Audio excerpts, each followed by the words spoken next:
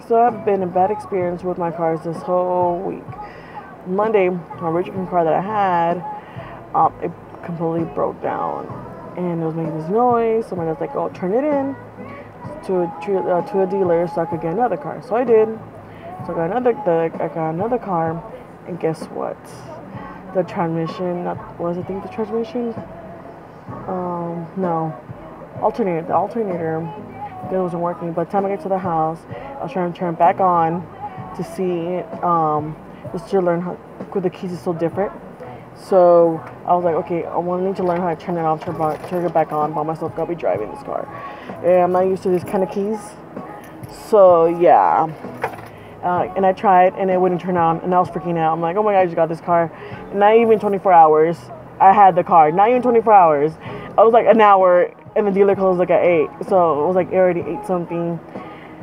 And then my dad charged it. We thought That was the battery. So then he, you know, gave me um, uh, a kickstart, and then we did that. And then was like, "Oh, I'm hungry," and we haven't eaten all day because I was working all day. And I got home at six, and at six, I'm like, "Okay, let's go get try and get a car." And then all this happened. So we went to get some food, um, like the McDonald's.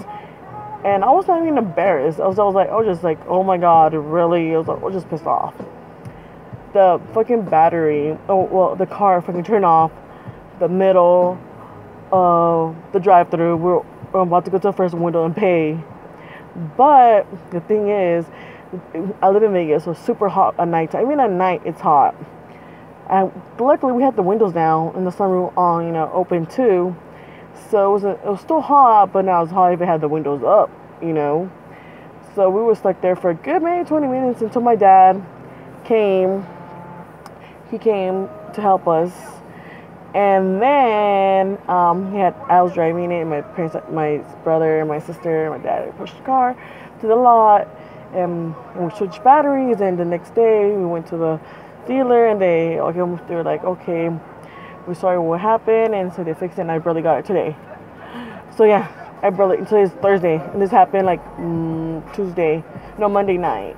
So I barely got my car back just now. So I'm kind of happy. I finally got a car, and I actually got a car that I kind of wanted, like you know, small SUV. You know, it's not of the year, but definitely upgrade from my last car, so I love it. So that's what happened to me with bad experience with this car is the past week.